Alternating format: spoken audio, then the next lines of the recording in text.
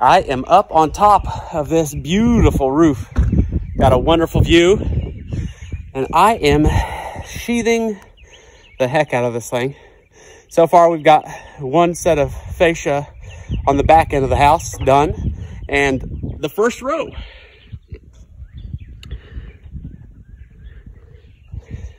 That is the most important, hardest part of, of the entire thing. So we're just about finished up here. We almost down to the last piece of the first row. Got everything straight.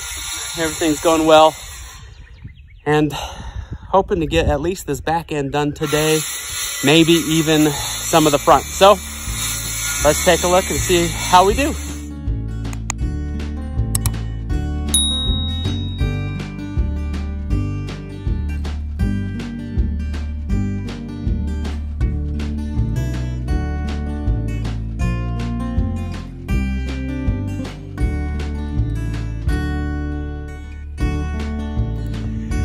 On this roof, we are using the half inch zip sheathing. It is a structural sheathing, so no H-clips required between sheathing material.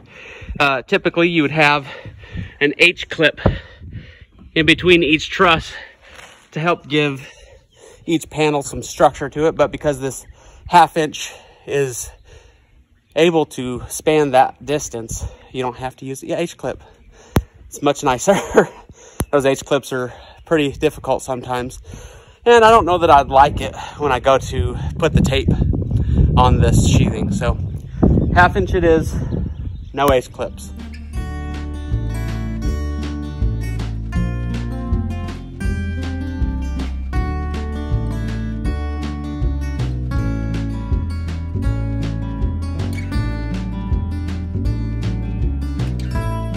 Lunchtime.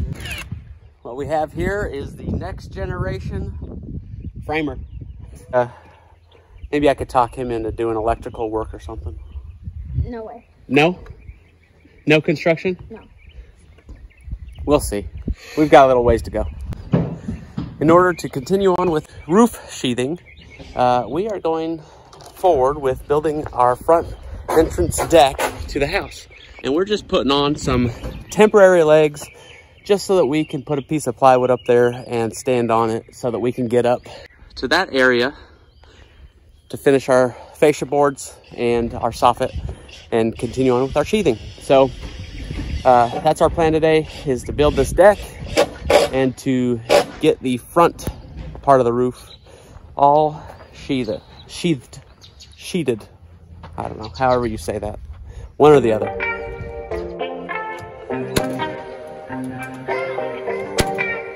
That one's running wild on purpose, so don't worry about that. Just hit it where it's at. We have got to build our valley for this truss system. I didn't order a valley package. I figured we'll come off with a, a ridge beam giving into this roof line. And from there, we'll cut some jack rafters and tie into a valley board. So what we got going here is we pulled a string from the end of these uh, trusses on the peak all the way over here to this point. From that point, we took our chalk line and strung it down where the valley will end on each side. So it gives us an idea of where our valley board will be where our ridge beam should come in at. Uh, now our ridge beam is going to actually drop down just a little bit because it's a two by eight. So the corners of the top corners of the two by eight should line in with these trusses, not the peak. And it'll come in and it won't hit exactly at this point it'll come in and hit in here wherever the 2 by uh, touches.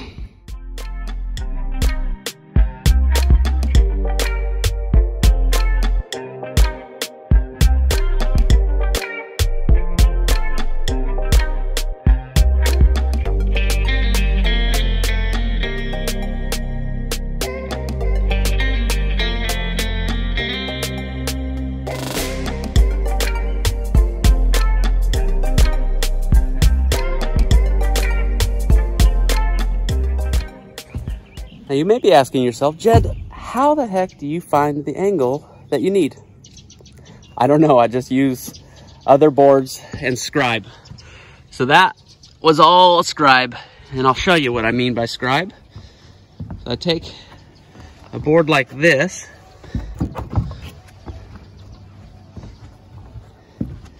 wherever I want to find an angle somewhere, put it along there, and run my pencil right along.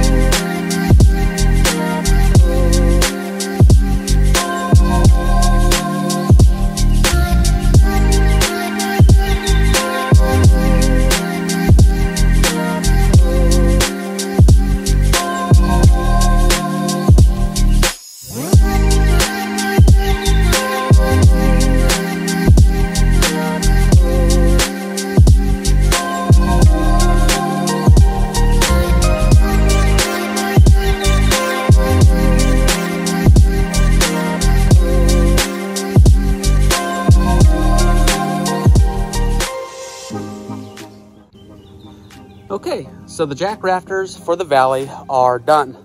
Now, how do you find the angle for your jack rafter when it comes to the bottom part? So if you know that your angle up here is a 412 pitch, which in degrees would be 18.4 degrees, what you do know also is the material you're working with. So if you're working with a two by four like we did, you take whatever this distance is. So for a two by four, you're talking three and a half inches. You divide that by your pitch. So divide that by four. It'll give you some random uh, decimal and you multiply that by 12. And that'll give you the distance from your corner out here to make your seat cut so that it's flat against that. And then you would put your saw at an 18.4 degree bevel and go ahead and rip it. And that's what gives you that exact dimension and cut so that everything sits flat and even. Just to recap what we've done here for our valley trusses slash rafters. We've come in with a ridge beam planed in to our existing roof. We came off with some jack rafters sitting on top of a sleeper or a valley board.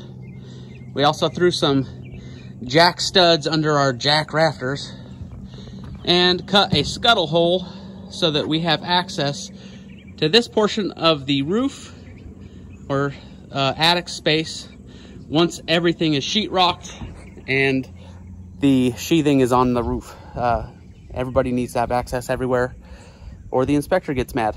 Uh, and how would you get insulation in there if you uh, don't have access? So that's all we've done. Um, it's time to start cutting the sheathing and putting it on.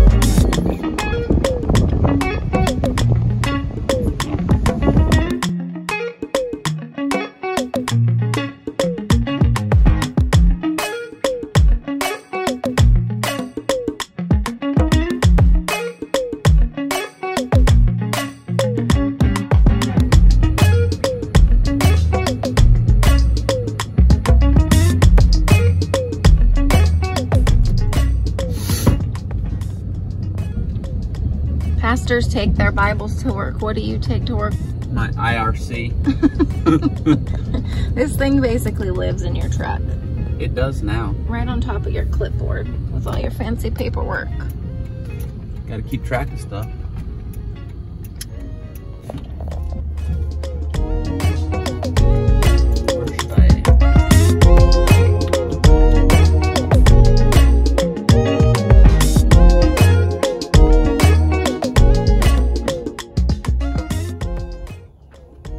Big stretch. You know, this is the first time I've ever used this stuff. Where do you get all that? Sashco. This is stuff I won at the field day with the Perkins brothers. Sweet. I'm actually really excited to use it. It, uh, I think my problem is that I'm always too cheap. but At least I think I'm going to, I'm, I think I'm going to change. I'm going to go ahead and start using this stuff because it, it's probably a superior product. I mean, if other people like the Perkins are using it, Won't crack. It just stretches. It should be good. This is the zip uh, stretch tape. So it's like expandable, super sticky. But I like to use this on the bottom of the windowsill for flashing before you install the window. Uh, it just helps keep all the water off the, the sill. Seal, sill, is it sill? Still. God, these words. words are hard for me.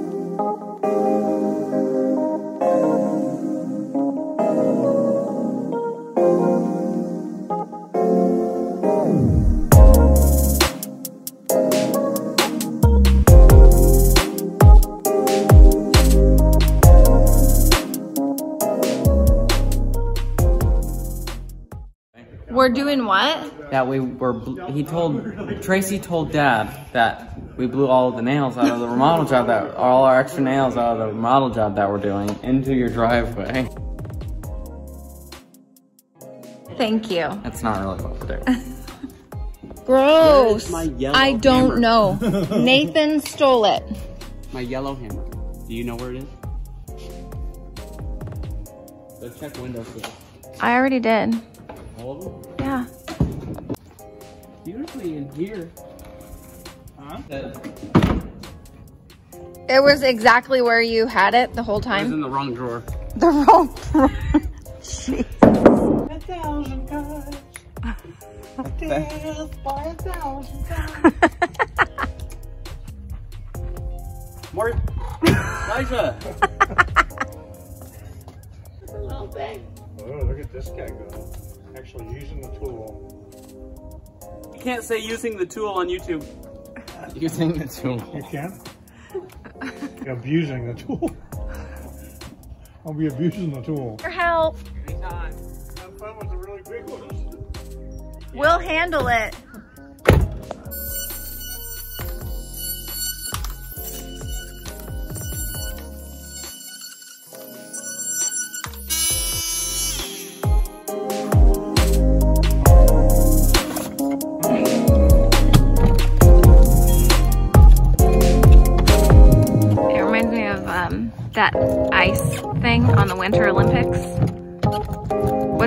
called?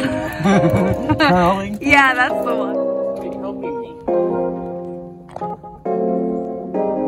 You can't be the cameraman and your helper.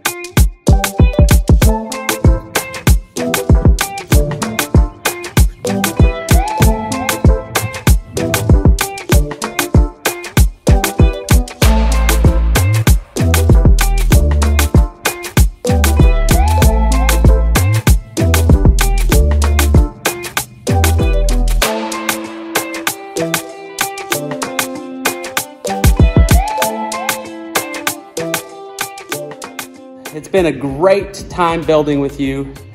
Please continue watching us. If you've enjoyed it, if you learned something, give us a thumbs up. Subscribe to our channel so you can continue the adventure with us. Thanks.